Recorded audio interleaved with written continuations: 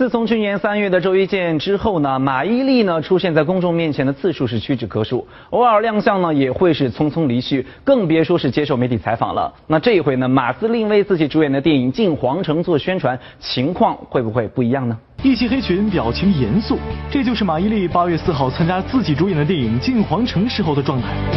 二零一四年三月的周一见事件，让文章马伊琍夫妇成为舆论焦点。鲜有的几次现身也是能逃则逃，这回为自己的新片吆喝，马伊琍在台上看起来热情也并不太高。发布会结束，怎能没有采访环节？不过也正如前几次一样，面对记者的采访要求，马伊琍依旧委婉的拒绝了，匆匆在经纪人的陪伴下离开了现场。采访我我们赶飞机，采不了。哦。不知道是不是害怕记者问及家庭，这一年多来面对各路采访，马伊琍能推则推，能躲则躲，但是都已经与文章和好如初了。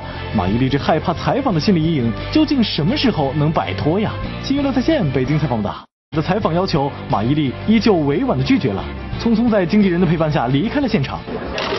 采访我我们赶飞机，采不了。哦。自从去年三月的周一见之后呢，马伊琍呢出现在公众面前的次数是屈指可数，偶尔亮相呢也会是匆匆离去，更别说是接受媒体采访了。电影进皇城时候的状态。